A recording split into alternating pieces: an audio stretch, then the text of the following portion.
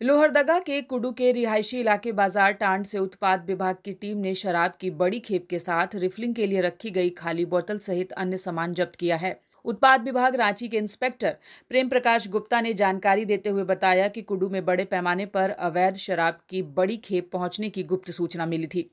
जिसके बाद उत्पाद आयुक्त के निर्देश पर रांची और लोहरदगा की एक संयुक्त टीम गठित की गई, जिसमें प्रदीप करमाली, राजकुमार महतो, अमित गुप्ता, ललित सोरेन, आशीष पांडे सहित रांची और लोहरदगा उत्पाद विभाग के लोग शामिल थे। टीम द्वारा मंगलवार 16 मई की शाम कुडू के बाज़ार टांड में छापेमारी की गई, जहाँ से कई अवैध सामान बरामद किए गए और इसके सरगना को बढ़निया स्थित घर से गिरफ़्तार भी किया गया। उन्होंने बताया कि ब्लैक हॉर्स सस्ती शराब है, जिसे ये गिरोह लोकल बाज़ार में चलने वाले ब्रांड की बोतलों में भरकर महँगे दामों में बेचा करता है। आयुक्त उत्पाद महोदय रांची को गुप्त सूचना मिली कि कूड़ू में अवैध शराब का खेप आया हुआ है।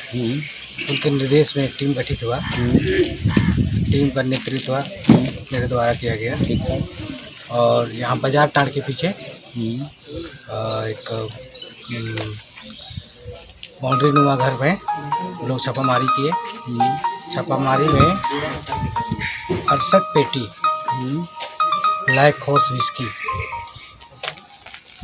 बरामद हुआ और आर एस एक सौ अस्सी एम एल का उनसठ पीस आईबी का बहत्तर पीस मैकडवेल का अट्ठाईस पीस।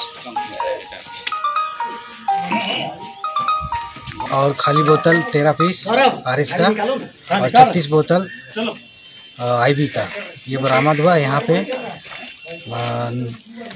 जो ब्लैक हॉर्स है वो सस्ती शराब है। उसको लोग महँगी शराब आर एस आई बी जो यहाँ के ब्रांड है उस पर कन्वर्ट करके इसको बाज़ार में बेचने का काम करते थे